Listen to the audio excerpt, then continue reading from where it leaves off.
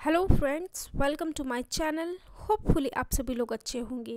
तो आपको मैं बहुत ही इंपॉर्टेंट अपडेट देने वाली हूँ आरबीआई असिस्टेंट के नोटिफिकेशन के बारे में। साथ ही साथ नंबर ऑफ़ सीट के बारे में भी हम लोग बात करेंगे और एज लिमिट क्या होगा और कैसे अप्लाई करना है, कब अप्लाई करना है, कब कब से स्टार्ट होगा तो सारी बातों की जानकारी मैं आपको इस वीडियो में देने वाली हूँ।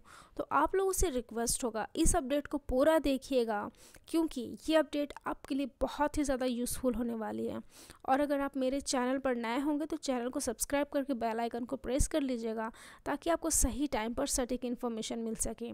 तो सबसे पहले हम लोग बात करने वाले हैं नंबर ऑफ़ सीट की, कि आरबीआई असिस्टेंट 2023 में कितनी वैकेंसी आपको देखने के लिए मिलेगी।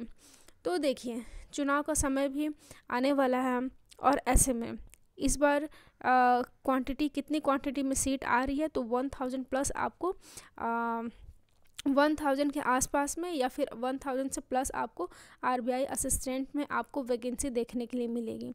तो बहुत अच्छी क्वांटिटी में सीट आ रही है। आप लोग प्रिपरेशन ज़ोरदार तरीके से स्टार्ट कर दीजिए क्योंकि फ्रेंड्स ये बहुत ही अच्छा मौका है। बहुत अच्छे क्वांटिटी में सीट आ रही है तो आप लोग प्रिपरेशन अभी से स्टार्ट कर दीजिए। अब हम लोग बात करते हैं एज की कि एज लिमिट क्या होना आ, क्या होने वाला है। तो 21 से लेकर 28 जो आप जानते हैं तो आप 21 से 21 से लेकर 28 के बीच में आप फॉर्म अप्लाई कर सकते हैं। अगर आपका एज 21 हो रहा है 21 से प्लस है या फिर 28 है तो आप लोग बिल्कुल फॉर्म अप्लाई कर सकते हैं। अब बात करते हैं कि नोटिफिकेशन कब आएगा। तो फ्रेंड्स इस मंथ के, इस मंथ के लास्ट लास्ट वीक में या फिर उससे थोड़ा पहले आपको आरबीआई का असिस्टेंट का नोटिफिकेशन देखने के लिए मिलेगा। और नोटिफिकेशन आने के दो से तीन दिन के बाद फॉर्म फिलअप स्टार्ट हो जाएगा। आप लोग फॉर्म फिलअप कर सकते हैं।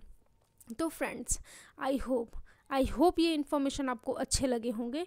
तो चैनल को सब्सक्राइब कर लीजिएगा, बेल आइकन को प्रेस कर लीजिएगा, ताकि आपको सही टाइम पर सटीक इन्फॉर्मेशन मिल सके। Thank you so much watching this video.